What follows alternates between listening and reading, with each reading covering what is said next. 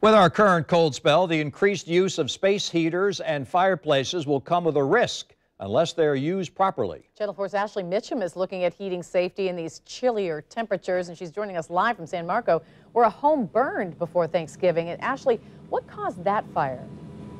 So we're hearing that this house fire was caused by the fireplace area, and again, this time of year, we see more home fires than any other time, and that is because it's so cold and people are using those heaters, fireplaces, space heaters, and whatnot. So we decided to go to JFRD's Randy Wise and ask him some advice for people for chilly nights like tonight.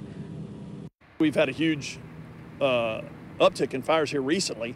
Um, so yeah, it's a good time to, to remember the issues that, that do occur when it gets cold. Uh, one of the fires we had over in uh, the Miramar area was actually due to a fireplace. So obviously you want to have your fireplace uh, inspected at least annually, make sure there's no cracks in the mortar, uh, that it's vented properly. More than 65,000 home fires are attributed to heating equipment each year. Hundreds die and thousands of people get injured because of this, not to mention property damage. Christmas time, so people like to burn candles. People burn candles all the time.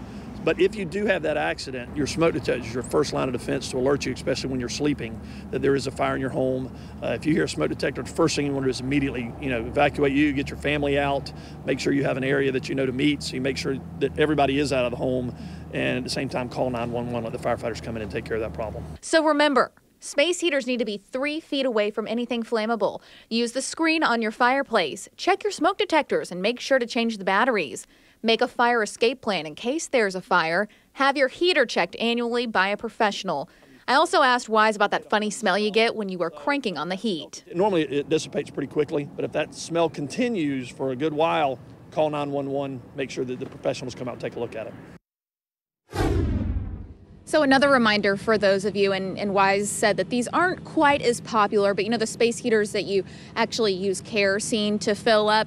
He said that make sure if you are putting fuel into those, you do that outside of your home. Do not fuel them inside of your home in case there's a fire. That would be very terrible um, because again, if you spill some of that kerosene, also make sure that it cools all the way down before you refuel it.